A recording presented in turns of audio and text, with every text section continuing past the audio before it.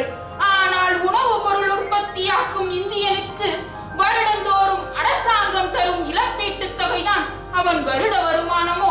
உழவனின் அரிசி என்ன அற்பமாகி விட்டதா? மறந்து விட்டாயா மனிதனே? உன் இறப்பிலும் கூட வருவது வாய்க்கரிசிதான்.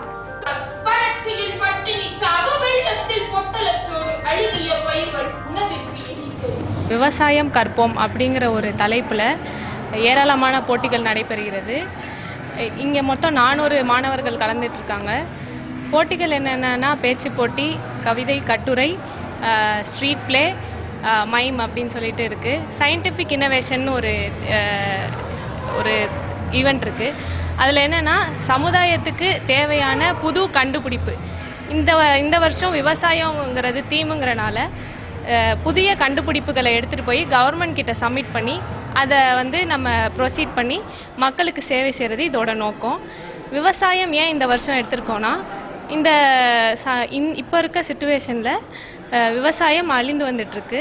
அந்த விவசாயத்தை மேம்படுத்துறதுக்காகவும் மாணவர்கள்கிட்டே அதை விழிப்புணர்வு ஏற்படுத்துறதுக்காகவும் இந்த சமூக சிந்தனை திருவிழா நடைபெறுது.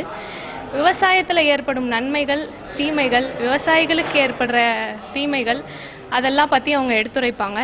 இதனால் எல்லாத்துக்கும் மக்களுக்கு வந்து என்னெல்லாம் வந்து நம்ம கவர்மெண்ட் கிட்டேருந்து கெடுக்க கேட்க முடியுமோ அது எல்லா வாய்ப்புகளும் பெற்றுக்கலாம்.